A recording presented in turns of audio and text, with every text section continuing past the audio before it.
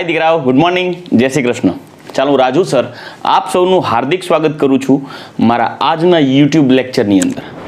દીકરાઓ, આજના લેક્ચરની અંદર આપણે આલ્કોહોલના રાસાયણિક ગુણધર્મોને કન્ટિન્યુ કરશું.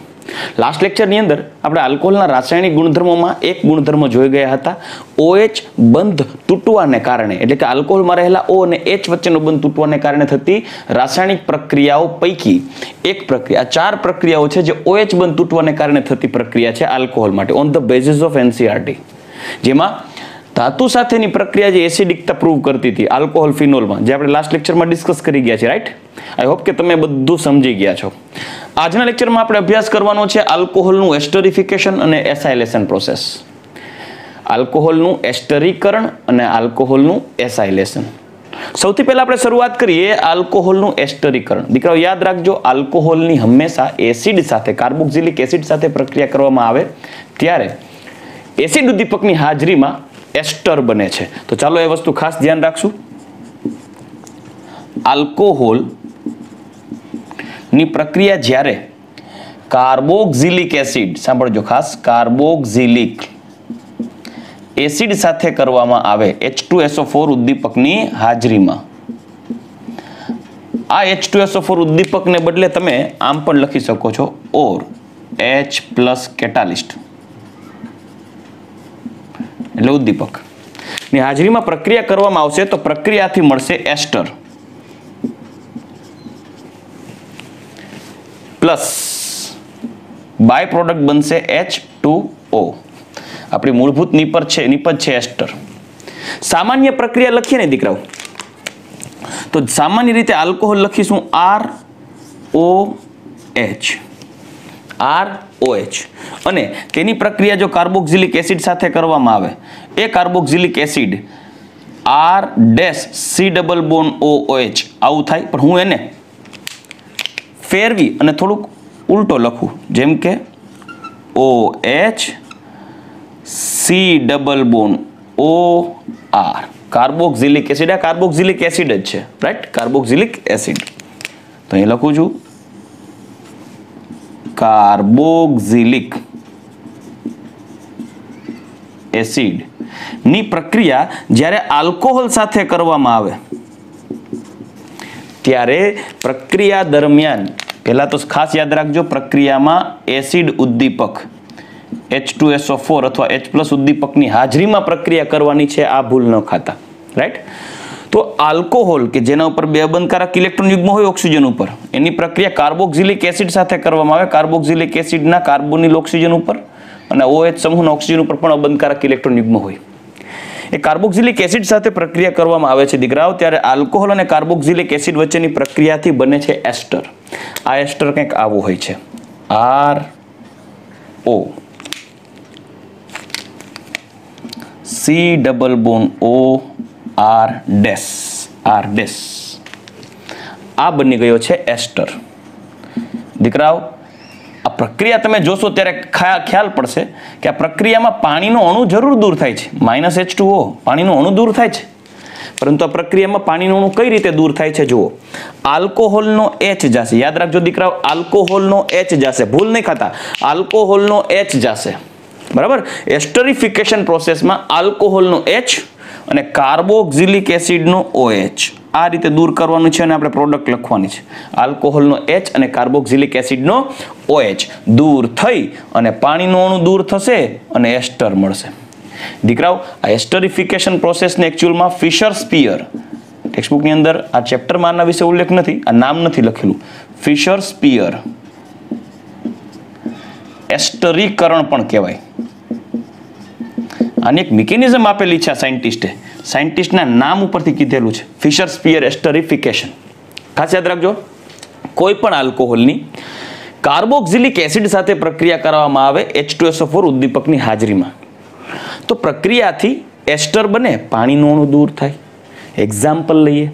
ફોર એક્ઝામ્પલ હું લઉં છું એક ethanol C H three C H two O H ethanol. જેની પ્રક્રિયા કરાવીશ, કોઈ carboxylic acid like C H three C double bond O O H ethanoic acid. Ethanoic acid. આ પ્રક્રિયા કરવામાં આવે એસિડ ઉદ્દીપકની હાજરીમાં. અને એસિડ ઉદ્દીપક કોણ છે? H two S O four acid ઉદ્દીપકની હાજરીમાં પ્રક્રિયા કરવામાં આવશે. ત્યારે ખાસ ધ્યાન રાખજો દીકરાઓ કાર્બોક્સિલિક એસિડનો ઓએ સોરી એચ અને સોરી આલ્કોહોલનો એચ અને કાર્બોક્સિલિક એસિડનો ઓએચ. બરાબર? ખાસ ધ્યાન રાખજો, આલ્કોહોલમાંથી એચ અને કાર્બોક્સિલિક એસિડમાંથી ઓએચ. આ બંને દૂર થશે એચ ટુઓ સ્વરૂપે. અને આપણી મુખ્ય નિપજ આવશે C H three C H two single bond. O, C અને સી ડબલ બોન્ડ ઓ સાથે જોડાશું અને બીજી રીતે પણ લખી શકીશ. જો, આ ઓક્સિજન છે એ આ કાર્બોનિલ કાર્બન સાથે જોડાશે કેમ કે આના ઉપર હોય પ્લસ ડેલ્ટા, આના ઉપર હોય માઇનસ ડેલ્ટા, આના ઉપર અબંધકારક ઇલેક્ટ્રોન યુગ્મ, માઇનસ ડેલ્ટા એટલે માઇનસ પ્લસ એકબીજા સાથે જોડાય. આ જો આ માઇનસ ભાગ હશે ઓક્સિજન. એ ઓક્સિજન માઇનસ ડેલ્ટા, કાર્બોનિલના પ્લસ ડેલ્ટા સાથે જોડાય કેમ કે અહીંયાથી OH માઇનસ રૂપે દૂર થશે. તો નિપજ કંઈક આવી મળશે. જુઓ C H three C double bond O right આટલો ભાગ C H three C double bond O જોડાશે ઇથોક્સી ભાગ સાથે. એટલે O C H two C H three આ બની ગયું એસ્ટર. અને આનું નામ કઈ રીતે લખશું દીકરાઓ? તો યાદ હોય તો એસ્ટરનું નામકરણ કરવા માટેના આયુપીએસસીના નિયમો ભણાવેલા છે. બની શકે કે ભૂલાઈ જાય. માણસ સહજ સ્વભાવ છે, ભૂલાઈ જાય. જો ભૂલી ગયા હોય, તો ઓનલાઈન લેક્ચરનો એક બેનિફિટ લેવાનું. ધોરણ અગિયાર ચેપ્ટર નંબર બાર જીઓસી જનરલ ઓર્ગેનિક કેમેસ્ટ્રીની અંદર આયુપીએસસીના નિયમોના વીડિયો લેક્ચર્સ જોઈ લ્યો. આપણી જ યુટ્યુબ ચેનલ એટલે કે તમારી જ યુટ્યુબ ચેનલ એમ એજ્યુકેશનમાં ધોરણ અગિયાર ચેપ્ટર નંબર બારના વિડીયોનું એક પ્લેલિસ્ટ છે જીઓસીનું ગુજરાતીમાં. એ પ્લેલિસ્ટની અંદર આઈયુપીએસસીના નિયમો આધારિત વિડીયોઝ તમે જોશો, તેમાં એસ્ટરનો વીડિયો જોશો એટલે ક્લિયર થઈ જશે તમારે કઈ રીતે નામ આપવું. યાદ રાખજો, એસ્ટરનું નામ આપતી વખતે મેં તમને કીધેલું છે કે જે સી ડબલ બોન ઓ ઓ એમાં જે ઓક્સિજનની બાજુમાં જે આલ્કાઇલ છે, એને પહેલાં લખવાનું છે, એટલે ઇથાઇલ અને કાર્બોનિલ કાર્બન સાથેના ટોટલ જે કાર્બન બચે છે ડાબી બાજુએ કાર્બોનિલ કાર્બન સાથેના, એ કાર્બનની સંખ્યા ગણી અને તેના નામના હાઇડ્રોકાર્બનના નામની પાછળ ઓએટ પ્રત્યે લગાડવાનો. કેટલા કાર્બન છે? બે. બે કાર્બન પ્રમાણે ઇથેન નામની પાછળ લાગે ઓએટ, તો આવશે ઇથાઇલ. ઇથેનોએટ. આ બની ગયું એક એસ્ટર. Ethyl ethanoate. હજી એક એક્ઝામ્પલ લઈએ, ચાલો. માની લો કે મારી પાસે છે મિથેનોલ CH3OH થ્રી એની પ્રક્રિયા કરાવીએ. બેન્ઝોઇક એસિડ સાથે એરોમેટિક પણ હોઈ શકે ને પ્રક્રિયામાં. C double bond OOH benzoic acid. જેની પ્રક્રિયા કરાવીએ છીએ મિથેનોલ સાથે. તો પ્રક્રિયાથી જો એસિડ ઉદ્દીપકની હાજરીમાં એટલે કે H2SO4 ની હાજરીમાં પ્રક્રિયા કરવામાં આવે, તો આ OH અને આલ્કોહોલનો એચ દૂર થઈ જશે અને આ ઓક્સિજનવાળો જે ભાગ છે, આ કાર્બોનિલ કાર્બનના પ્લસ ડેલ્ટા સાથે જોડાઈ જશે. તો નીપજ કંઈક દીકરાઓ આવી મળવી જોઈએ. સી ડબલ બોન ઓ અને એની સાથે જોડાશે ઓ સી એચ થ્રી નામ થશે methyl benzoate. Methyl benzoate. Ready આ પ્રક્રિયા થઈ ગઈ દીકરાઓ એસ્ટરીકરણની પ્રક્રિયા. પ્રશ્ન થાય. સર, આ તો તમે યાદ રાખવા માટે કહી દીધું કે આલ્કોહોલમાંથી એચ જાય કાર્બોક્સિલિક એસિડમાંથી ઓએચ જાય અને પાણીનું અણુ દૂર થઈ અને માઇનસ એચ ટુઓ અને એક એસ્ટર બની જાય. પણ મિકેનિઝમ જ્યારે સમજવાની ઈચ્છા થાય કે સર એ કઈ રીતે એચ પાણી આલ્કોહોલનો ગયો અને ઓએચ કાર્બોક્સિલિક એસિડનો જાય છે. એ કઈ રીતે ખબર પડશે? મિકેનિઝમ સમજાવો. તો હું તમને દીકરાઓ, મિકેનિઝમ જરૂર સમજાવીશ. એ ઇમ્પોર્ટન્ટ છે. કેમ કે મિકેનિઝમ સમજાય તો આ વસ્તુ પલ્લે પડે. પરંતુ તમારે ક્યાંય મિકેનિઝમ બતાવવાની નથી. તમારે ડાયરેક્ટ આન્સર ટીક કરવાનો છે આલ્કોહોલનો એચ કાર્બોક્સિલિક એસિડનો OH પાણીનું દૂર કરો, બાકીના બે ભાગને જોઈન્ટ કરી દો, જે મળે એ આલ્કોહોલ ચલો, બે એક્ઝામ્પલ એક્સ્ટ્રા તમારી સામે લખ્યા, હજી વધારાના લખીશ, પણ એની પહેલા હું તમને મિકેનિઝમ સમજાવું, જે તમારે સમજવાની છે. પણ ક્યાંય લખવાની નથી. ચાલો મિકેનિઝમ સમજાવું.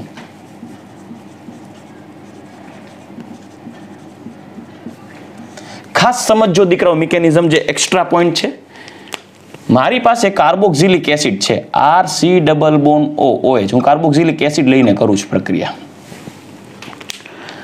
અને એ પ્રક્રિયામાં આલ્કોહોલ ઉમેરીએ છીએ. એસિડ ઉદ્દીપકની હાજરીમાં. એટલે આપણી પાસે છે એક એચ પ્લસ સાંભળજો ખાસ હો. એસિડ ઉદ્દીપક. ઉદ્દીપકનું કામ શું છે દીકરો? ઉદ્દીપક શું પ્રક્રિયામાં ભાગ લેશે? ના. શું પ્રક્રિયાની નિપજમાં કંઈ ફેરફાર કરે? ના. શું કોઈ પ્રક્રિયા ન થતી હોય અને ઉદ્દીપક નાખો તો એ પ્રક્રિયા થઈ જાય, એવું બને ના. યાદ રાખજો, ઉદ્દીપક માત્ર પ્રક્રિયાનો વેગમાં ફેરફાર કરે. કોઈ દિવસ પ્રક્રિયાના પ્રક્રિયામાં એટલે ઉદ્દીપક પ્રક્રિયામાં ભાગ લેતો નથી. ઉદ્દીપક એવી જ પ્રક્રિયાના વેગમાં ફેરફાર કરે કે જે પ્રક્રિયા શક્ય હોય. મતલબ બે પ્રક્રિયકો વચ્ચે પ્રક્રિયા થાય, પણ બહુ ધીમ્યા દરથી થતી હોય, ધીમી સ્પીડથી થતી હોય. તમે એમાં યોગ્ય ઉદ્દીપક નાખો તો સ્પીડ વધારી દે ઉદ્દીપક. પણ કોઈ એવા બે પ્રક્રિયક લેશો કે જેમની વચ્ચે પ્રક્રિયા જ શક્ય નથી અને તેમાં કોઈ ઉદ્દીપક નાખો તો એ પ્રક્રિયા થઈ જાય. એ વાત ખોટી. ઉદ્દીપક તો માત્ર પ્રક્રિયાનો વેગ વધારવાનું કામ કરે. જે પ્રક્રિયા ધીમા દરે થતી હોય એને ઝડપી બનાવે. એ પ્રક્રિયામાં ઉદ્દીપક નાખો છો એ પ્રક્રિયામાં ભાગ નથી લેતો. તો આ પ્રક્રિયામાં ઉદ્દીપક એચ પ્લસ છે. આ પ્રક્રિયા દરમિયાન એચ પ્લસ જેટલો વપરાયેલો છે, પ્રક્રિયાને અંતે એ એચ પ્લસ નીકળી જવો જોઈએ. યાદ રાખજો. તો જ મિકેનિઝમ તમારી સાચી છે. બીજી વાત. મિકેનિઝમ જ્યારે વિચારતા હોય ને દીકરાઓ, ત્યારે એક બાબતને ખાસ ધ્યાન રાખજો. હંમેશા મિકેનિઝમમાં જ્યારે આમ એરો બતાવીએ ને આપણે એરો ત્યારે આ એરાની શરૂઆત કઈ દિશાએથી કરવી કે જ્યાં ઇલેક્ટ્રોનની ઘનતા વધારે હોય, જ્યાં ઇલેક્ટ્રોનનું પ્રમાણ વધારે હોય, એનો એરો ક્યાં મોકલવાનો કે જે બાજુ ઇલેક્ટ્રોન ઓછા હોય અથવા જ્યાં ઇલેક્ટ્રોન ઘનતા ઓછી છે અથવા ધન વીજભારત્વ છે, એ બાજુ એરો દર્શાવવાનો. એ જ મિકેનિઝમની સાચી રીત છે. તો ચાલો, એ બાબતને ખાસ ધ્યાનમાં રાખશું અને હવે મિકેનિઝમ સમજીએ. આલ્કોહોલ ઉમેરતા પહેલાં આ જે કાર્બોક્સિલિક એસિડ છે, એના જે ઓક્સિજન ઉપર છે ને અબંધકારક ઇલેક્ટ્રોન યુગ્મ હોય. અને આ કાર્બોનિલ કાર્બનના ઓક્સિજન, કાર્બોનિલ કાર્બન સાથે જોડાયેલા ઓક્સિજન ઉપર પણ અબંધકારક ઇલેક્ટ્રોન યુગ્મ હોય. આપણે આમાં શું સમજવાનું છે? આપણે આમાં એ સમજવાનું છે એસ્ટર કેમ બન્યું એ નહીં? ખાસ તો એ સમજવાનું છે કે કાર્બોક્સિલિક એસિડનો ઓએચ કઈ રીતે ગયો અને આલ્કોહોલનો એચ કઈ રીતે જાય છે? રાઈટ? ચાલો. હવે જોજો આ એનસીઆરટીમાં નથી, એટલે એનસીઆરટીમાં ગોતવા ન જતા, આમાં જ લખેલું મળશે. હવે કેવું થશે? આ ઓક્સિજનમાં જે કાર્બોનિલ ઉપરનો જે ઓક્સિજન છે ને, એના ઉપર આંશિક ઋણ વીજભારત્વ વધારે હશે. કેમ કે અસંતૃપ્ત છે, અનસેચ્યુરેટેડ છે. એટલે અહીંયા હશે આંશિક ઋણભાર, અહીંયા હશે આંશિક ધનભાર. તો એ શું કરશે? આ એચ ને પોતાની તરફ આકર્ષે. એટલે આ ઇલેક્ટ્રોનિકનું દાન કરશે આ એચ પ્લસને અને અહીંયા ઓ એચ બનશે, પણ અહીંયા પોઝિટિવ ચાર્જ આવી જશે. તો હવે એ દર્શાવીએ. R C double bond O O H અહીંયા એક જોડાઈ ગયો છે એચ અહીંયા ઇલેક્ટ્રોન યુગ્મ હતા જ ઓલરેડી અહીંયા એક છે અને એક તો આ બંધમાં યુઝ થઈ ગયો. અને આ ઓક્સિજન ઉપર આવી ગયો પ્લસ ચાર્જ પોઝિટિવ ચાર્જ હવે હવે આ પ્રક્રિયામાં આલ્કોહોલ ઉમેરી દઈએ. આલ્કોહોલ યાદ રાખજો. ચાલો આલ્કોહોલ ઉમેરી દઈએ. કેમ કે કાર્બોક્સિલિક એસિડ સાથે આલ્કોહોલ તો ઉમેરવો જ પડશે એસ્ટર બનાવવા. તો આર ઓ એચ એક કામ કરું, એક સ્ટેપ હજી લંબાવું. આલ્કોહોલ ઉમેરતા પહેલા ઓક્સિજન ઉપર પ્લસ ચાર્જ છે. ઓક્સિજન ઉપર પ્લસ ચાર્જ છે. જોયું? હવે ઓક્સિજન ઉપર પ્લસ ચાર્જ છે ને અહીંયા પાઈ બોન્ડ છે. પાઈ બોન્ડ એટલે પાઈ બંધના ઇલેક્ટ્રોન યુગ્મ વધારાના જો સરળતાથી તૂટી જાય, તો ઓક્સિજન શું કરશે? પોતાનો પ્લસ ચાર્જ દૂર કરવા પ્રયત્ન કરશે. ઓક્સિજન કહેશે, ભાઈ કાર્બન તારા કરતાં તો વધારે વિદ્યુતઋણીય હું છું. તો તારા ઉપર ધનભાર રહેવો જોઈએ. કેમ કે જે વધુ વિદ્યુતઋણીય હોય, એના કરતાં જે ઓછો વિદ્યુતઋણીય હોય, એના ઉપર ધનભાર હોવો જોઈએ ને? તો હવે શું થશે? આ જે ઓક્સિજન છે ને પાઈ બંધના ઇલેક્ટ્રોનને પોતાની તરફ આકર્ષી લેશે અને ધનભાર કાર્બનને આપી દેશે. એટલે નીપજ ક્યાંક આવી મળશે? R, C, O. રાઈટ એની સાથે જોડાશે એચ સમજી શકો છો ને? એક ઇલેક્ટ્રોન યુગ્મ ઓલરેડી હતો, નવો બીજો આવી જશે પાઈ બંધનો પછી, આ ઓ એચ તો હજી ઓલરેડી અવેલેબલ છે જ. કાર્બોક્સિલિક એસિડનો જો જૂનો. રેડી હવે એના ઉપર એક અબંધકારક ઇલેક્ટ્રોન યુગ્મ ઓક્સિજન ઉપર છે જ. પરંતુ આ કાર્બન ઉપર કયો ચાર્જ આવી ગયો છે? Plus charge, positive charge. હવે હવે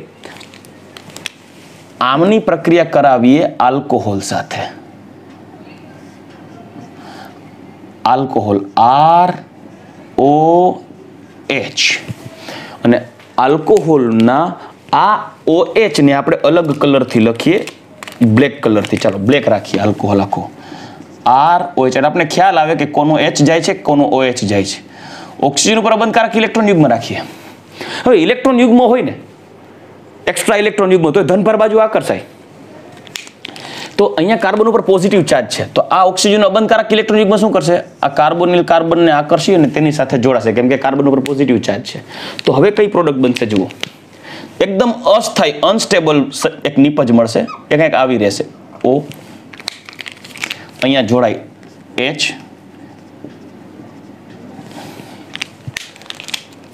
આ ઓ એચ જેમના ઉપર અબંધકારક ઇલેક્ટ્રોન છે જ ઓલરેડી બે.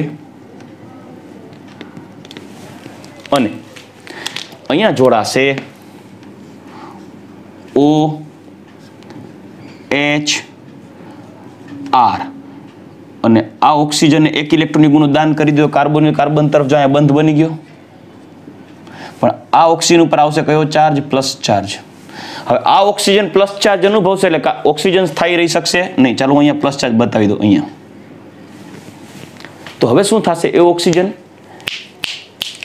એચ ને કહેશે, ભાઈ, તું પોચા ભારે નીકળ, તને અહીંથી નીકળતું અને ઇલેક્ટ્રોન યુગમાં ઓક્સિજન લઈ લેશે. અહીંથી આ કાર્બનને કાઢી નાખશે. તો એચ પ્લસ સ્વરૂપે નીકળે એચ પ્લસને કોણ ખેંચી લેશે? એચ પ્લસને ખેંચી લેશે આ OH નો કાર્બન OH નો ઓક્સિજન. તો જુઓ, આલ્કોહોલમાંથી કોણ નીકળું જુઓ ખાસ, આલ્કોહોલમાંથી કોણ નીકળું આલ્કોહોલમાંથી કોણ નીકળ્યું? આલ્કોહોલમાંથી કોણ નીકળું ખાસ જુઓ, આલ્કોહોલમાંથી H ગયો. આલ્કોહોલમાંથી કોણ ગયું? H, જુઓ, આ H નીકળી ગયો H. ચલો આ આલ્કોહોલનો H ગયો. કેની સાથે જોડાઈ ગયો? કાર્બોક્સિલિક એસિડમાં જે OH હતો, એની સાથે જ આવી ગયો. હવે હવે કંઈક આવી નિપજ મળશે, જોજો.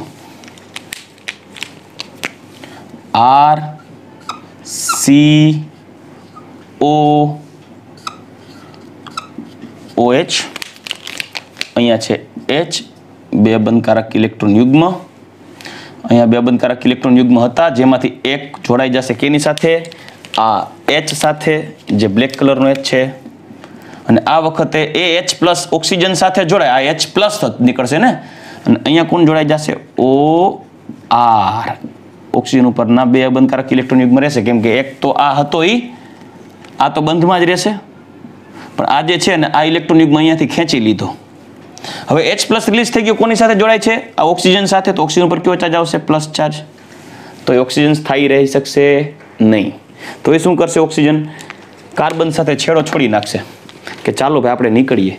પણ જુઓ, આ એચ ટુઓ મોલેક્યુલ તમને દેખાય છે? આ એચ ટુઓ મોલેક્યુલમાં ઓ આર એચ ક્યાંથી આવ્યો? આલ્કોહોલમાંથી. અને આ OH કેનો ભાગ છે? કાર્બોક્સિલિક એસિડનો. હવે શું થશે? આ બોન્ડ તૂટી ઇલેક્ટ્રોન ખેંચી જશે આ ઓક્સિજન અને અહીંથી રવાના થઈ જશે. H2O ફોર્મમાં તો મને જે નીપજ મળનારી છે, એ કંઈક આવી આવશે. જોજો. જોજો સ્ટેપ બાય સ્ટેપ સમજાવવા પ્રયત્ન કરું છું દીકરાઓ, ઈચ એન્ડ એવરી સ્ટેપ જોઈ છે અને આવી રિએક્શન ખાલી લોજિકલી જ હોય. કેમ કે રાસાયણિક પ્રક્રિયા જ્યારે થતી હોય, ત્યારે આ પ્રક્રિયા આપણને દેખાતી ન હોય ભાઈ જો આવું આવું થાય છે પાત્રની અંદર. ચાલો રેડી અહીંયા કોણ બચે છે? ઓ આર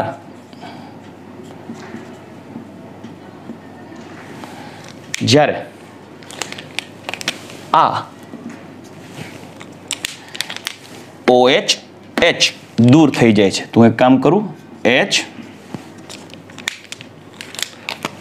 ઓ એચ અને આ કાર્બન ઉપર આવશે પ્લસ ચાર્જ કેમ કે ઇલેક્ટ્રોન યુગમાં લઈને જતા રહીએ.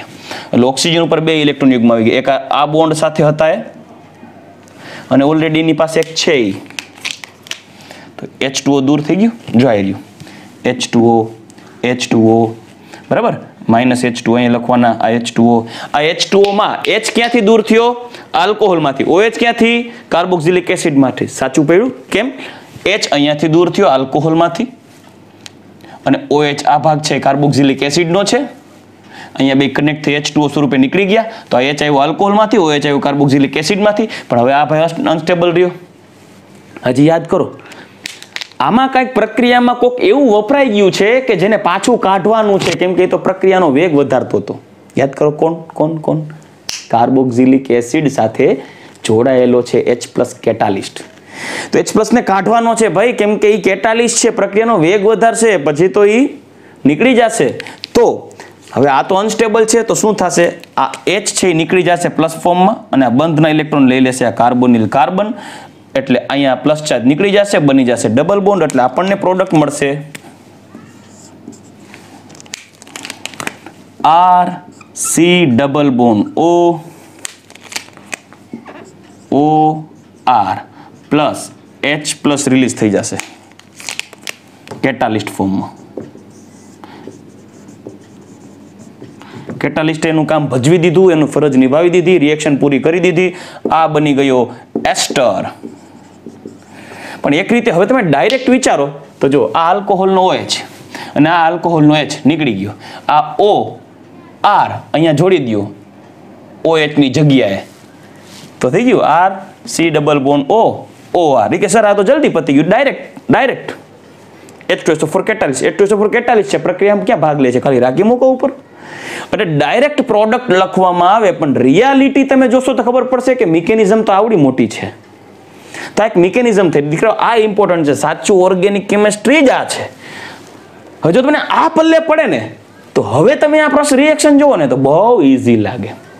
તો હાલો, આ રિએક્શન સમજાઈ ગઈ દીકરાઓ?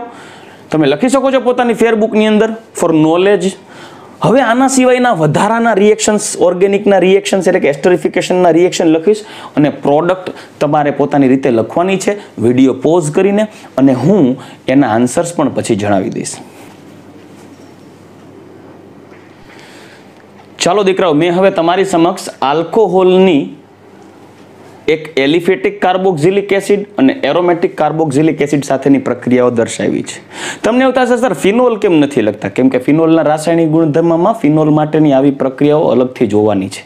આપણે અત્યારે માત્ર આલ્કોહોલ માટે ડિસ્કસ કરીએ છીએ, એટલે આલ્કોહોલ માટે રિએક્શન્સ લખેલી છે મેં.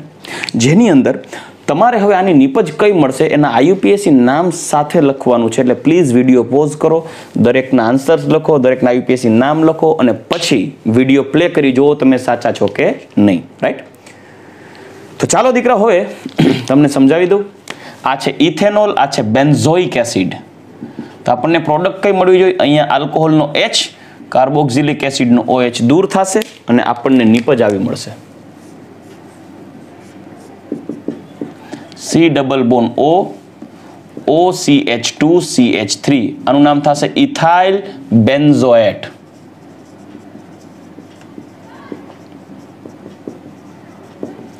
હવે as it is benzyl alcohol. આ છે બેન્ઝાઇલ આલ્કોહોલ. બેન્ઝાઇલ આલ્કોહોલનો H અને કાર્બોક્સિલિક એસિડનો OH બરાબર? એટલે કે ઇથેનોઇક એસિડ છે, આ બે કાર્બન હોવાથી ઇથેનોઇક એસિડનો OH એસિડ કેટાલિસ્ટની પ્રેઝન્સમાં દૂર થશે. અને બાય પ્રોડક્ટ આપણને મળવાની છે માઇનસ એચ અને આપણને નિપજ કઈ મળશે? તો કે આ કાર્બોનિલ ભાગ લખીએ C H three C double bond O અને આ જે છે એ O C H two C six H five જે બેન્ઝાઇલ સમૂહ છે, એટલે આને કહેવાય બેન્ઝાઇલ એસિટેટ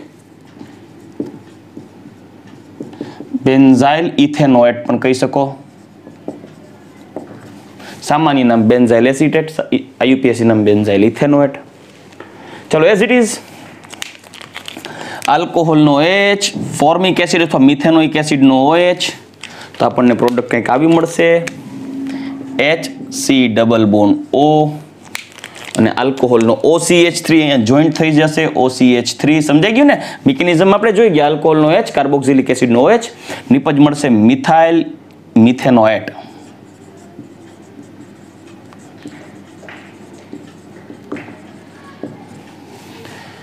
મિથાઇલ મિથેનોએટ ચલો, હવે આગળ એઝ ઇટ ઇઝ આલ્કોહોલનો એચ ઇથેનોલનો એચ અને આઇસોબ્યુટેનોઇક એસિડ.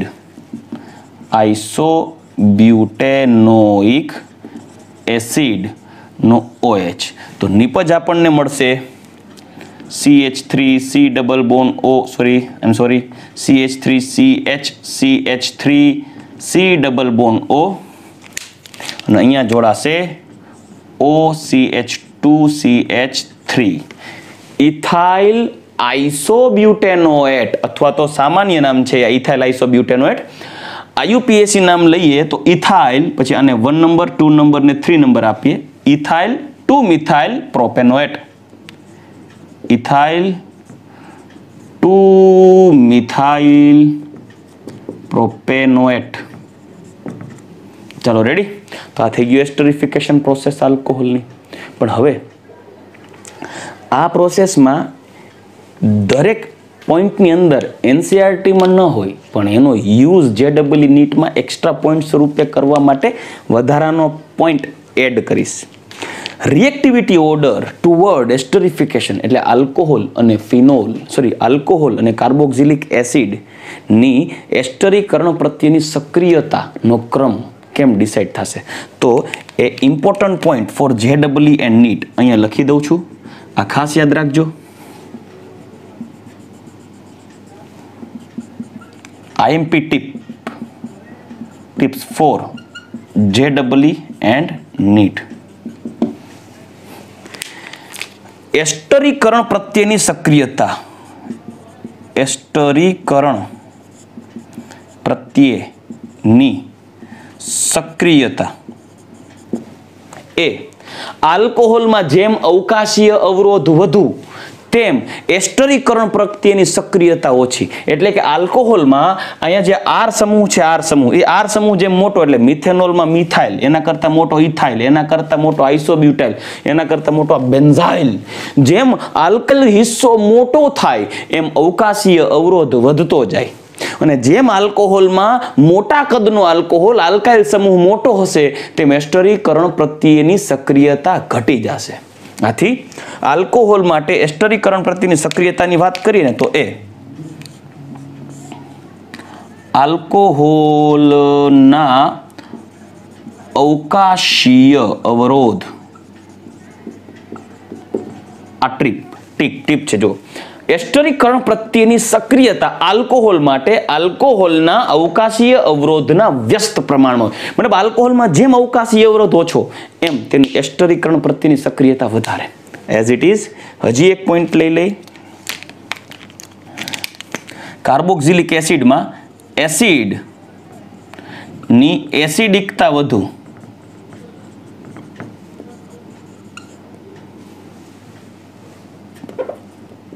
તેમ એટલે એસિડની એસિડિકતા એ એસ્ટરીકરણ પ્રત્યેની કાર્બોક્સિલિક એસિડની સક્રિયતાના સમપ્રમાણમાં હોય. એટલે જેમ કાર્બોક્સિલિક એસિડ વધુ સક્રિય, એટલે કે વધુ એસિડિક તેમ એસ્ટરીકરણ પ્રત્યેની સક્રિયતા વધારે.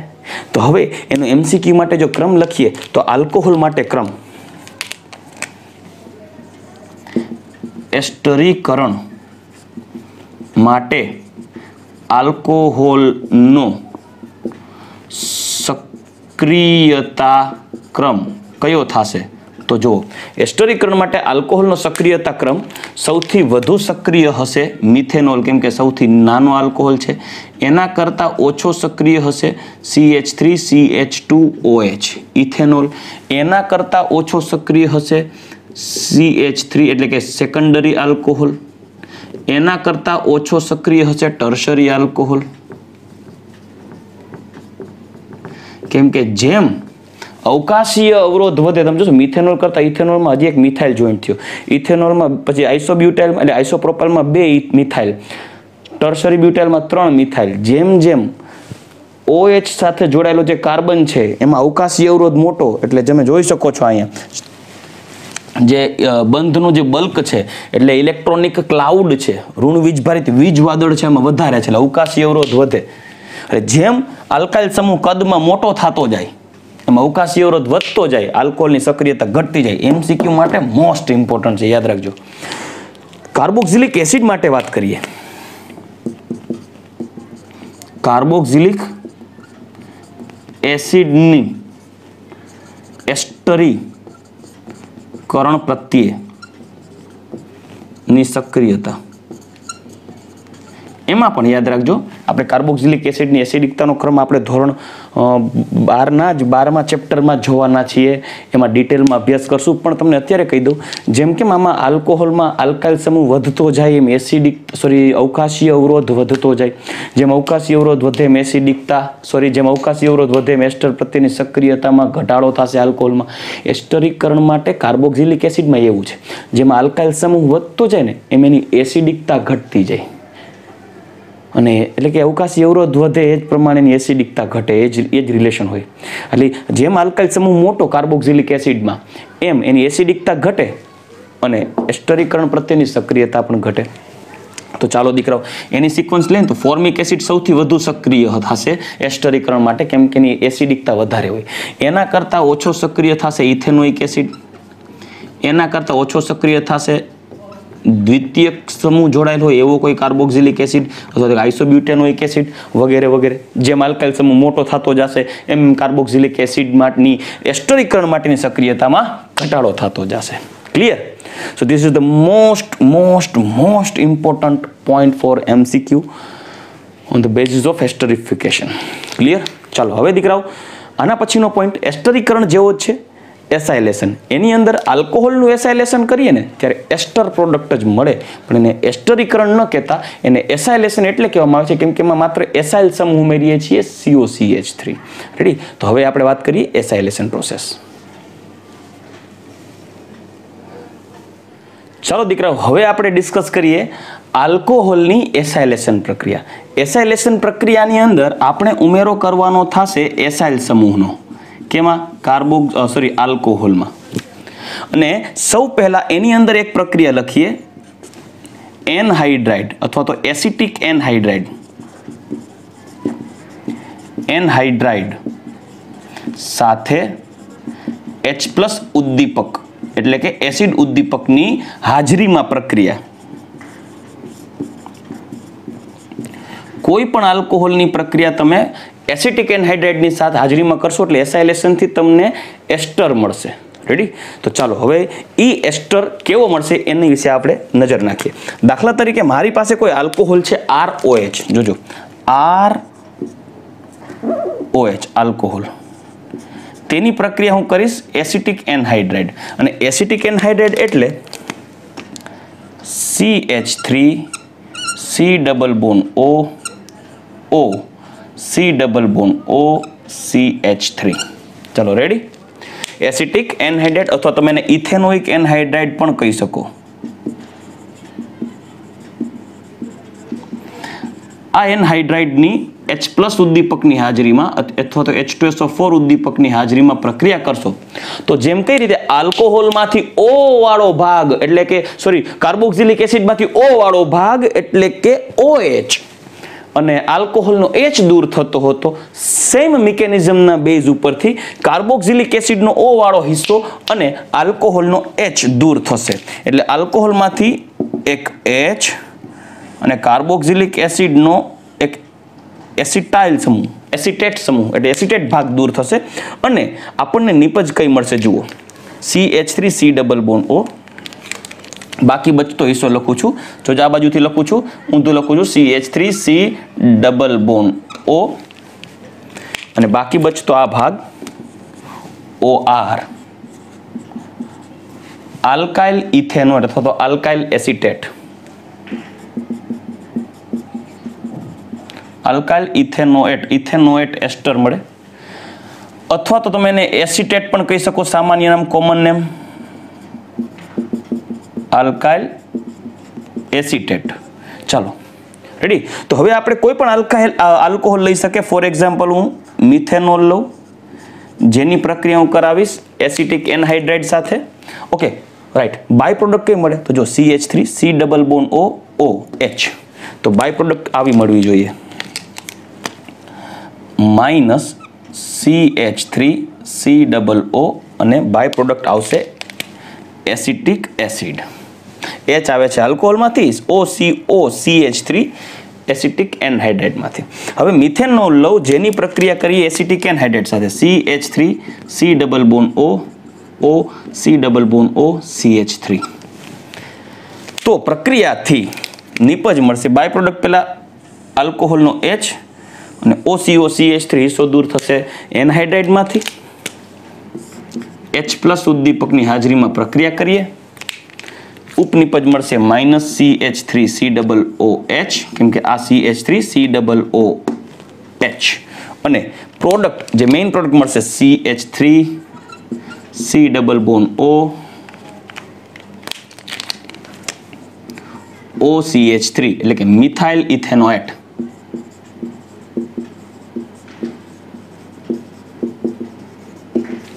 methyl ethanoate next reaction એક જોઈએ માનો કે આપણે પ્રક્રિયા કરાવીએ છીએ ઇથેનોલની. એની પ્રક્રિયા કરાવીએ છીએ એસિટિક એનહાઇડ્રેટ સાથે.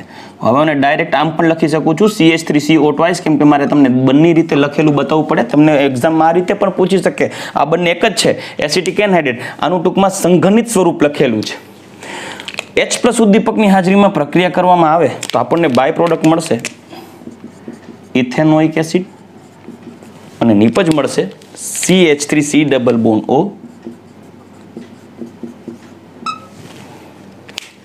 અહીંયાથી એચ દૂર થઈ જશે, એટલે બાકીનો જે ભાગ છે એ O C H two C H three એટલે કહી શકાય ઇથાઇલ ઇથેનોએટ ચલો રેડી હવે, આ પહેલી પ્રક્રિયા જોઈ ગયા, પણ એ જ એસાઇલેશન માટે તમે એસિટિક એનહાઇડ્રેટ ન વાપરવું હોય તો બીજો એક પ્રક્રિયક છે એસાઇલેશન માટે, અને એ છે ethanoyl chloride. Ethanoyl chloride RCOCl બરાબર? આલ્કેનોઇલ ક્લોરાઇડ, જેને એસિડ ક્લોરાઇડ પણ કહેવાય. તો એ એસાઇલેશન માટે સેકન્ડ રિએક્શન જોઈએ આપણે, અને એ છે આલ્કોહોલની એસાઇલેશન માટે acid chloride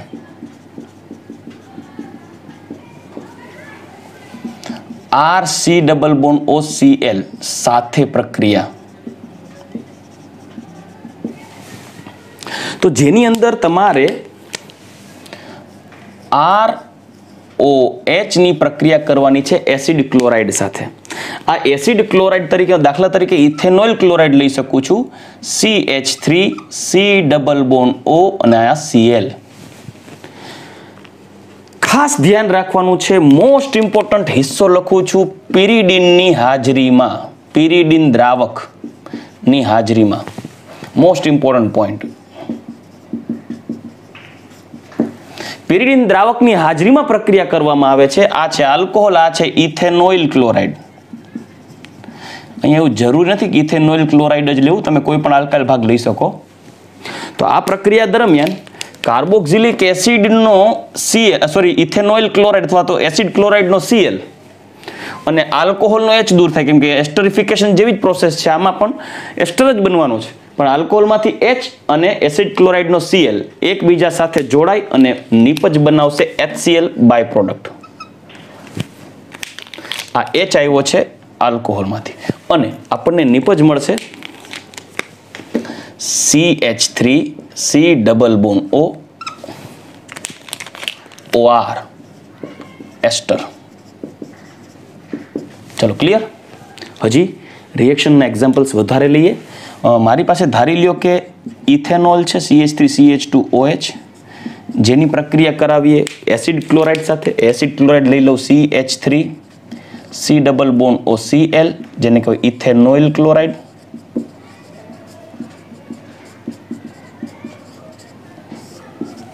આ પ્રક્રિયા પિરિડિનની હાજરીમાં કરવામાં આવે છે, તો અહીં જરૂર લખીશ પિરિડિન. દીકરો પિરિડિન ન લખેલું હોય ને, તો આમ પણ લખી શક્યો પીવાય પીવાય એટલે પિરિડિન. તો પિરિડિન સાથેની પ્રક્રિયાથી આલ્કોહોલમાંથી ઓએચ સોરી આલ્કોહોલમાંથી એચ એન્ડ સોરી આલ્કોહોલમાંથી એચ અને એસિડ ક્લોરાઇડમાંથી સીએલ દૂર થશે. અને આપણને નીપજ કંઈક આવી મળશે. C H three C double bond O O C H two C H three દીકરાઓ તમે આને આમ પણ લખી શકો, ખોટું નથી હો. C H three C H two O C double bond O C H three આ બંને એક જ છે. જોજો. ઘણે શું કે સર, હું આને શું કાને પહેરે લખું છું? હું ઓ સીધો આ કાર્બોનિલ સાથે જોડીને આવી રીતે લખું તો? તો તમે ખોટા નથી. સાચા જ છો. કોઈ પણ રીતે લખો, નામ થશે. ઓ સાથે જોડાયેલા આલ્કાઇલ સમૂહ. ઓ સાથે જોડાયેલા આલ્કાઇલ સમૂહને પહેલાં લખવાનો અને કાર્બોનિલ હિસ્સાને ઓએટ પ્રત્યે લગાડી પછી લખો. તો નામ થશે ઇથાઇલ ઇથેનોએટ.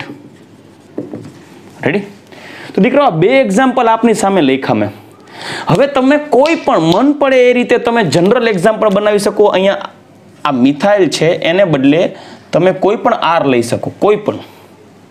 આર સમૂહ. આર એટલે alkyl methyl ethyl propyl any one એને અનુસાર તમારે અહીંયા ethanol propanol butanol pentanol chloride લખવાનું.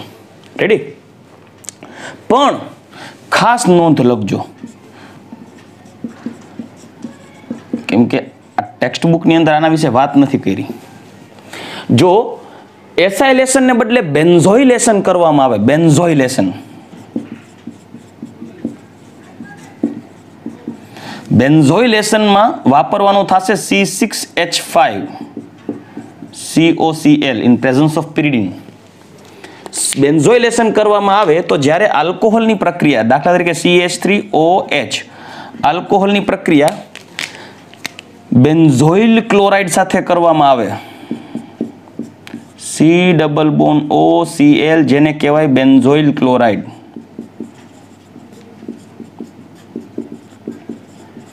બેન્ઝોઇલ ક્લોરાઇડ સાથે કરવામાં આવે ને, ત્યારે આ બેન્ઝોઇલ ક્લોરાઇડનો સીએલ, બેન્ઝોઇલ ક્લોરાઇડ છે દીકરાઓ, બેન્ઝાઇલ નથી, બેન્ઝોઇલ છે. કેમ કે બેન્ઝિન રિંગ, ફરીવાર બોલું છું, બેન્ઝિન રિંગમાં સી એચ ટુ આવું હોય તો આને બોલાય બેન્ઝાઇલ. પછી જો આવું હોય સી એચ તો આને કહેવાય બેન્ઝાલ. અને જો સી ત્રિવિસ્થાપિત હોય તો એને કહેવાય બેન્ઝો. તો આની અંદર બેન્ઝો સમૂહ છે, કેમ કે સી ડબલ બોન્ડ એક ઓ આરે છે અને એક સીએલઆરએ છે. તો જો આ ત્રિવિસ્થાપિત થયું, એટલે એને કહેવાય બેન્ઝો અને ઓઇલ હેલાઇડ. પ્રત્યય લાગે એસિડ ક્લોરાઇડ સંયોજન સમૂહને. તો આથી કહેવાય બેન્ઝોઇલ ક્લોરાઇડ. રેડી તારું નામ છે બેન્ઝોઇલ ક્લોરાઇડ. જેની પ્રક્રિયા પિરિડિન ઉદ્દીપકની હાજરીમાં, એટલે કે સોરી આઈ એમ સોરી ઉદ્દીપક નથી, દ્રાવક છે સોલ્વન્ટ છે. દ્રાવક છે. પિરિડિન દ્રાવકમાં પ્રક્રિયા કરવામાં આવે છે સોલ્વન્ટ તો આપણને નિપજ કંઈક આવી મળે છે, દીકરાઓ. બેન્ઝોએટ એસ્ટર મળે, એટલે એરોમેટિક એસ્ટર મળે.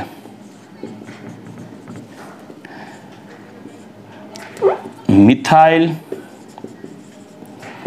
benzoate. જો આને બદલે તમે માનો કે અહીંયા ઇથેનોલ લ્યો છો. C H three C H two O H similar reaction કરાવો. સિમિલર સોલવન્ટ તો આપણને નિપજ આવી મળશે. C double bond O O C H two C H three આને કહેવાય ઇથાઇલ બેન્ઝોએટ.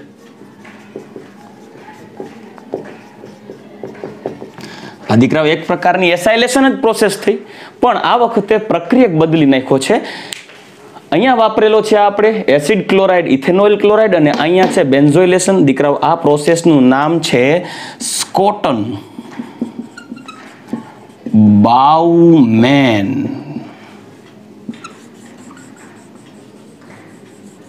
પ્રક્રિયાનું નામ છે Schotten Baumann process Schotten Baumann benzoylation of alcohol એટલે કે આલ્કોહોલની જો બેન્ઝોઇલેશન પ્રોસેસ કરવામાં આવે, સાંભળજો બેન્ઝોઇલેશન પ્રોસેસ કરવામાં આવે,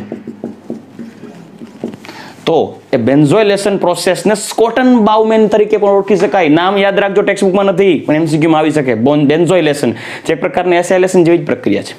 પણ એ પ્રશ્ન થાય. કે આ પ્રક્રિયામાં પિરિડિન શા માટે વાપરવામાં આવે? આ કાં અહીંયા એસિડ ઉદ્દીપક નથી વાપરતા તમે? આગળ તમે એસ્ટરીકરણમાં પણ એસિડ એસિડ ઉદ્દીપક વાપરી ગયા. અહીં એસાઇલેશનમાં એસિટિક એનહાઇડ્રેટ વાપરો છો, તો પણ એસિડ ઉદ્દીપક વાપરો છો. તો આ એસાઇલેશનમાં કેમ પિરિડિન? Right reason ગોતીએ. તમે જોયું? એસ્ટરીકરણ હતું ને એસ્ટરીકરણ. એસ્ટરીકરણમાં બાય પ્રોડક્ટ એચ હતી. અને એસિટિક એનહાઇડ્રેટમાં બાય પ્રોડક્ટ એસિડ છે. પણ એ એસિડ નિર્બળ એસિડ છે, નિર્બળ એસિડ. પણ અહીંયા તમે જુઓ, જ્યારે એસાઇલેશન કરવામાં આવે ને છે, ત્યારે બાય પ્રોડક્ટ છે ને, એ પ્રબળ એસિડ છે, પ્રબળ એસિડ. કઈ બાય પ્રોડક્ટ કઈ છે? જો એચસીએલ અહીંયા પણ બાય પ્રોડક્ટ કઈ મળે છે? એચસીએલ અહીંયા પણ બાય પ્રોડક્ટ કઈ મળે છે? એચસીએલ અહીંયા પણ બાય પ્રોડક્ટ કઈ મળે છે? એચસીએલ બાય પ્રોડક્ટ છે ને એચસીએલ છે. હાઇડ્રોક્લોરિક એસિડ પ્રબળ એસિડ છે. તો કંઈક એને ધ્યાનમાં લઈ અને પેરિડિન સોલ્વન્ટ વાપરવામાં આવે છે. શા માટે? કારણ કે જો આ પ્રક્રિયામાં પિરિડિન સોલવન્ટ વાપરવામાં આવે ને તો પિરિડિન સ્વભાવે બેઝિક છે. કેવો છે? બેઝિક. હવે આ બેઝ છે, આ પ્રક્રિયામાં હાઇડ્રોક્લોરિક એસિડ બને ને એ આ હાઇડ્રોક્લોરિક એસિડ આ પિરિડિન સાથે પ્રક્રિયા કરી અને ન્યુટ્રલ બનાવી નાખે. એટલે આ એસિડ છે ને, એ એસિડને આ પિરિડિન તટસ્થ કરી નાખશે. આથી આ એસિડ ન્યુટ્રલ થઈ જવાથી સોલ્ટ ફોર્મમાં બહાર નીકળી જાય. એટલે આ બાય પ્રોડક્ટ બહાર નીકળી જાય, એટલે શું થાય? કે તમે નિપજ દૂર કરો છો પ્રક્રિયામાંથી. અને નિપજ દૂર કરી નાખતા જાઓ, એટલે એચસીએલને દૂર કરતા જાઓ ન્યુટ્રલાઇઝ કરીને પેરિડિન દ્વારા પેરિડિન દ્વારા. તો નિપજ દૂર થતી જાય, એમ લસ એટલિયરના સિદ્ધાંત અનુસાર પ્રક્રિયા પુરોગામી દિશામાં ભાગે. આથી વધુને વધુ નિપજ મળે. આથી મેક્સિમમ પ્રોડક્ટ ગેઇન કરવા માટે, ઉત્પન્ન થતા બાય પ્રોડક્ટ એચસીએલને દૂર કરવા માટે ન્યુટ્રલાઇઝ કરી દૂર કરવા માટે બેઝ પિરિડિન નાખવામાં આવે. ક્લિયર તો આ પ્રશ્ન થયો. આપણી એપી બુકની અંદર આ પ્રશ્ન અલગ લખેલો છે અને આપણી એનસીઆરટીમાં પણ એનો ઉલ્લેખ છે. પ્રશ્ન પૂછાઈ શકે કે આલ્કોહોલની એસાઇલેશન પ્રક્રિયા દરમિયાન શા માટે ભાઈ પિરિડિન વાપરવામાં આવે? કારણ આપો. ત્યારે ઇમ્પોર્ટન્ટ છે, ધ્યાનમાં લેવું જરૂરી છે. તો દીકરાઓએ લખી દીધું છે બુકમાં, પણ છતાં હું અહીંયા જરૂર લખી દઈશ તમને કે પિરિડિન સોલ્વન્ટ શા માટે વાપરવામાં આવે છે? પિરિડિન સ્વભાવે બેઝિક છે, જે ઉપનિપજ એચસીએલને તટસ્થ કરી દૂર કરે. ઉપનિપજ HCl ને તટસ્થ કરીને શું કરી નાખશે? દૂર કરશે. આથી, લ શેટેલિયર ના સિદ્ધાંત મુજબ મુજબ પ્રક્રિયા પુરોગામી દિશામાં જશે અને નિપજ વધુ મળે. આથી પ્રક્રિયામાં પેરિડિન સોલવન્ટ વપરાય. તમને એમ થાય, પેરિડિન ન્યુટ્રલાઇઝ કરે તો કઈ રીતે થાય? એ પણ તમને જણાવી દઉં. અહીંયા લખું છું. દાખલા તરીકે મારી પાસે પેરિડિન છે પેરિડિનનું અણુસૂત્ર આવું થાય, બંધારણીય સૂત્ર. આ બેઝ છે. જેની એચસીએલ સાથે પ્રક્રિયા કરવામાં આવે તો આ એસિડ, આ બેઝ સ્વભાવે થાય ન્યુટ્રલ. આ ઇલેક્ટ્રોન એચ પ્લસને ડોનેટ કરશે અને સીએલ માઇનસ આયોનિક બંધથી જોડાય એટલે આવું થઈ જાય. એન એચ દાખલા તરીકે એચસીએલ હું બ્લેક પેનથી લખું અહીંયા. સીએલ તો આ એન સાથે જોડાઈ જાય એચ અહીંયા આવશે પ્લસ ચાર્જ અને આયોનિક બોન્ડથી જોડાઈ જાય સીએલ માઇનસ તો આ બની જાય પિરિડિનિયમ ક્લોરાઇડ પિરિડિનિયમ હાઇડ્રોક્લોરાઇડ શું કહેવાય આને? પિરિડિનિયમ હાઇડ્રોક્લોરાઇડ આ બની જાય સોલ્ટ ઇન્સોલ્યુબલ ફોર્મમાં બહાર નીકળી જાય. ક્લિયર આથી આ પ્રક્રિયામાં એસિડને એચસીએલ ન્યુટ્રલાઇઝ કરી નાખશે કોણ? પિરિડિન, એટલે પિરિડિન વપરાય. એટલે HCl દૂર થઈ જાય, પ્રક્રિયા લસેટલિયરના સિદ્ધાંત અનુસાર પુરોગામી દિશામાં ભાગે નીપજ વધુ મળે. રેડી તો ચાલો દીકરાઓ, આ પ્રશ્નનો જવાબ મેં લખી દીધો છે. ફાઇનલી આપણે આલ્કોહોલની એસ્ટરીકરણ અને એસાઇલેશન પ્રક્રિયા જોઈ ગયા. હવે એક આપણે આ જ પ્રોસેસ એસ્ટરીકરણ અને એસાઇલેશન વાળી જે પ્રોસેસ છે, એ પ્રોસેસ આપણે સેલિસિલિક એસિડ માટે જોઈએ. સેલિસિલિક એસિડમાંથી એસ્પિરિન કઈ રીતે બનાવવું? વેદનાહારક દવા કઈ રીતે બનાવવી એ આપણે જોવાની છે પ્રોસેસ આ જ પ્રોસેસને આધારે એક્સ્ટ્રા એક્ઝામ્પલ ડેવલપ કરવાનું છે, જે આપણે એનસીઆરટીમાં આપેલ છે કોમ્પિટિટિવ એક્ઝામ્સ અને બોર્ડ્સ માટે પણ યુઝફુલ છે. તો હવે આપણે એક એ એક્ઝામ્પલ લઈએ. ચલો દીકરા, હવે આપણે જોઈએ સેલિસિલિક એસિડના એસાઇલેશન દ્વારા વેદના હારક, એટલે કે એનાલ્જેસિક દુઃખ દૂર કરનારની રચના કઈ રીતે થશે? હવે આ છે salicylic acid two hydroxy benzoic acid અથવા તો ઓર્થો હાઇડ્રોક્સી બેન્ઝોઇક એસિડને સેલિસિલિક એસિડ કહેવાય, જે વેદનાહારક છે, જેની સુગંધ વિક્સમાં આવતી હોય. વિક્સ જે આપણે શરદી થાય ને વિક્સ વેપોરબ લગાડીએ, એની અંદર જે સ્મેલ આવે, એ બામની જેને આપણે કહેવાય, બામ કહીએ છીએ, નોર્મલી કાઠિયાવાડી ભાષામાં અને ગુજરાતીમાં બામ કહેવાય, એ વિક્સની અંદર જે સ્મેલ આવતી હોય, એ સેલિસિલિક એસિડની સ્મેલ છે. કેમ કે એ માથાના દુખાવા માટે કે શરદી માટે યુઝફુલ છે. આ સેલિસિલિક એસિડ નેચરલી નીલગીરીના પર્ણમાંથી પણ મળે. નીલગીરીના પર્ણને તમે આમ આમ જરાક તમે ક્રશ કરો અને સ્મેલ લેશો તો એ આની જ સ્મેલ આવશે સેલિસિલિક એસિડની. હવે, જો એ સેલિસિલિક એસિડની પ્રક્રિયા કરવામાં આવે C H three C double bond OCl સાથે. બરાબર? આ પ્રક્રિયા પેરિડિનની હાજરીમાં કરવામાં આવશે. કેની હાજરીમાં? પેરિડિનની હાજરીમાં કરવામાં આવશે. તો જોઈ ગયા ને carboxy sorry acid chloride carbonyl ભાગના સીએલ સાથે દૂર થશે આલ્કોહોલ ભાગનો, એટલે ફિનોલ ભાગનો એચ એટલે પ્રક્રિયામાં ઉત્પન્ન થશે by product H C L જે ન્યુટ્રલાઇઝ થશે પેરિડિન દ્વારા અને મહત્તમ નિપજ મળશે. કઈ નિપજ મળશે? એ લખીએ. આ પ્રક્રિયા, આ છે એસાઇલેશન અને નિપજ આપણને કંઈક આવી મળશે. ખાસ જોજો. C double bond OH carboxylic acid ભાગ એમનેમ રહેશે. અને અહીંયા જોડાશે C double bond O C H three. Ready તો આને કહેવાશે એસિટોક્સી. એસિટાઇલ સમૂહ તેની સાથે જોડાયેલ છે. ઓક્સિજન, જોઈ શકો છો આ, ઓક્સિજન ઓલરેડી અલ્ફિનોલનો પોર્શનનો જ છે, એટલે કે ઓએચ પોર્શનનો જ છે.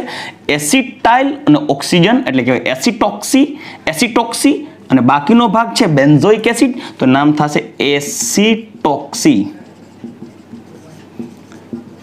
બેન્ઝોઇક એસિડ, જેને એસ્પિરિન તરીકે પણ ઓળખી શકાય.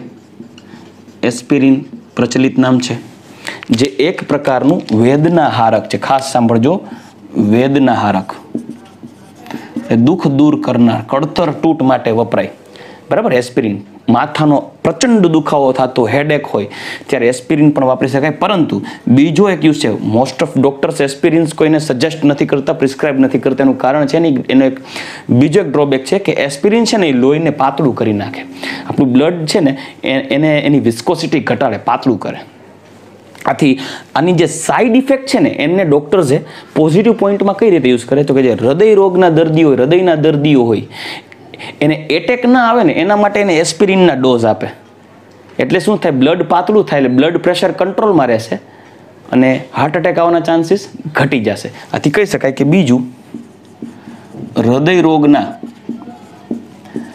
દર્દીઓને અપાય છે. આ દુખાવા માટે નહીં, આનું મેઇન રીઝન શું કહી શકાય?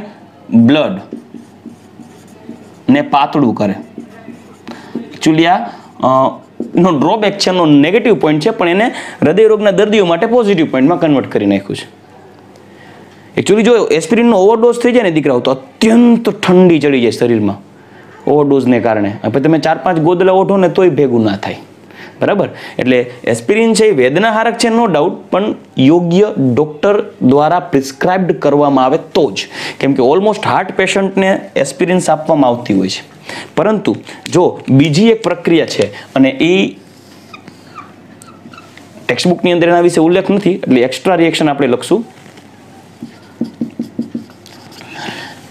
સર કે આ સી એચ ભાગ તો ખાલી છે, તો કામ કરો, એનું એસ્ટરીકરણ કરીએ. એસ્ટરીકરણ કરીએ C H three O H સાથે આલ્કોહોલ સાથે કાર્બોક્સિલિક એસિડ ભાગ સાથે. પ્રક્રિયા કરશે એચ પ્લસ ઉદ્દીપકની હાજરીમાં. તો કાર્બોક્સિલિક એસિડ નો OH અને આનો H દૂર થશે. માઇનસ એચ ટુ ફોર્મ એટલે plus H two by product અને આપણને નિપજ કઈ મળશે? તો નિપજ આવી મળશે, જુઓ.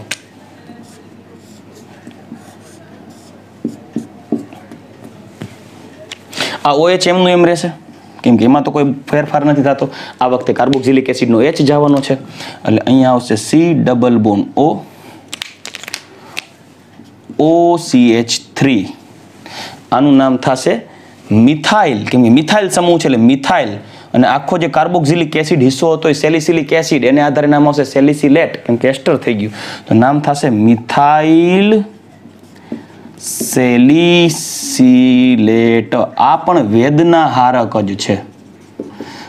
જ્યારે ફૂલ શરદી થઈ હોય અને જે શરદીને કારણે જેને કહેવાય ને કે માથુરને કડતર તૂટ થતી હોય, ત્યારે મિથાઇલ સેલિસિલેટ આપવામાં આવે છે, જેને વિન્ટર ગ્રીન ઓઇલ તરીકે પણ ઓળખવામાં આવે છે. કેમ કે શિયાળામાં ઓલમોસ્ટ શરદીનું પ્રમાણ વધારે તો એટલે વિન્ટર ગ્રીન ઓઇલ તરીકે પણ ઓળખી શકાય, રાઈટ?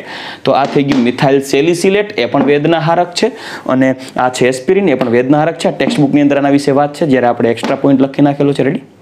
તો ચાલો દીકરાઓ, આજના લેક્ચરની અંદર આપણે જોઈ ગયા. આલ્કોહોલમાં રહેલા ઓએચ બંધ તૂટવાને કારણે થતી પ્રક્રિયામાં આલ્કોહોલનું એસ્ટરીકરણ અને એસાઇલેશન. નેક્સ્ટ લેક્ચરની અંદર આપણે આલ્કોહોલના ઓક્સિડેશન વિશે આગળ ચર્ચા કરશું. આઈ હોપ દીકરાઓ, આજના રિએક્શન્સને તમે બહુ પ્રોપરલી સમજેલા છો. છતાં પણ કંઈ ડાઉટ હોય, તો પ્લીઝ મને કોલ કે મેસેજ કરી દેજો. રાઈટ તો ચાલો દીકરાઓ, હવે નેક્સ્ટ લેક્ચરમાં પાછા મળશું. આગળની રિએક્શન સાથે ત્યાં સુધી રજા લઈશ. ગુડ બાય ટેક કેર જય શ્રી કૃષ્ણ.